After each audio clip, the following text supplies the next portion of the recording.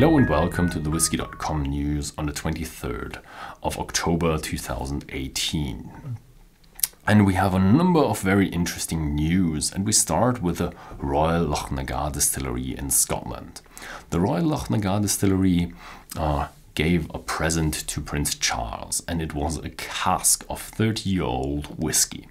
And what he does with it is he is uh, having having it bottled on the 14th of November, which is his birthday, and then he will um, have auctions about the bottles, and people will pay probably a lot of money, but this money is going to a yeah a beneficial uh, sale. So all the stuff that you buy there will help some people who are in need.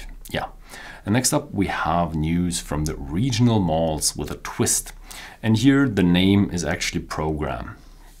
It is a, a tube, which is a, a two-part tube. We have a top and a bottom, and we have the heads of the symbolic figures of Big Pete, Scallywag, Timorous Beast, and Epicurean. And then you can twist the, the, the tube with a twist and you can match the head of let's say uh, Big Pete with the bottom of Scallywag or vice versa or, or, with all the others. It reminds me a bit of uh, uh, yeah uh, children's toy yeah. But um, it's gonna be a nice blend. It's gonna be 48% ABV 10 years limited edition and it's gonna be limited to 5,000 bottles. So maybe if you want to have one, you should not wait too long. Next up, we have Loch Lomond is planning new products for 2019. It will be a 1991 Glen Scotia and the 1992 Little Mill. And Little Mill is already closed, so this will be a bit more rare and also a bit more expensive, therefore. So, after the Johnnie Walker White Walker edition, which showed huge success. Now um, we have a new bottling from Johnnie Walker, and this time it's the Masters edition. It will be a very, very high expensive whiskey, and it's going to be a 50 year old blend made from six very rare distilleries. It's going to be made from Blair Athol, Glen Albyn, Glenury Royal. It's only going to be uh, 100 bottles, and it's going to be 43.3% ABV. So if you want to have one, you really have to dig deep into your pockets. And as nearly every week now, we have a new distillery. This time it's around Glasgow. It's the Art Ardgowan distillery, and they will be uh, building it until 2020, and they invested 12 million pounds. Um, they will have two copper pot stills and they will have six washbacks.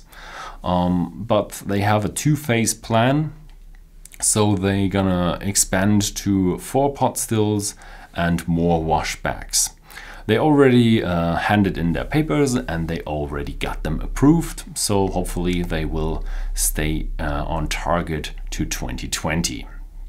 So that's it for Scotland and now we move on to the Irish distillers. Because the Irish distillers are investing heavily into their business, they are investing 150 million euros in the modernization and the expansion of their yeah, distillery equipment and bottling equipment. Um, they will invest into the Midleton distillery in Cork and also their uh, companies in Dublin, which are for bottling. This is because they saw a rise in product demand and they will uh, do this modernization in the next two years. So, the last news that we have today is the Kilbeggan small batch rye is coming. It's a small batch whiskey, 30% rye, so quite high, it will be quite spicy. 43% ABV, and it will be the first whiskey that will be 100% distilled on site and also matured on site. Yeah, it will be available in the USA around mid-November, so keep your eyes open.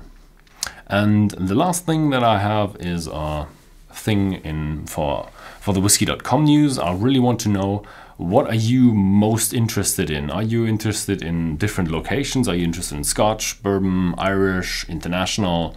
Are you interested in uh, new distilleries or new bottlings? What do you expect from the whisky.com news? What news do you find interesting? What news do you find boring? Just go down, write it in the comments, and I will read them. Thank you very much for watching and see you next time.